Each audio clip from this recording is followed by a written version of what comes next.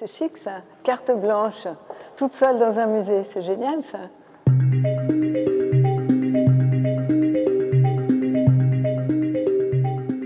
On ne va plus dans un musée maintenant en étant simplement spectateur, mais acteur, acteur de, ce monde en devenir.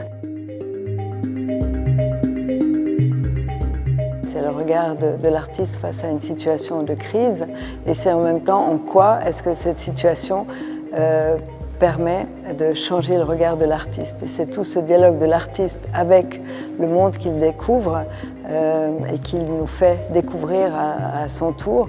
Et c'est cette interaction qui est euh, vraiment intéressante et je pense qu'on ne sortira pas de cette exposition comme on est rentré. La première impression, c'est d'essayer de, trouver le, dialogue de toutes ces photos entre elles. D'avoir, est-ce que c'est un cheminement qui est horizontal Est-ce que c'est un cheminement vertical? Et puis après, on essaye de, comprendre un petit peu ce qui a motivé d'abord la photo et après l'emplacement.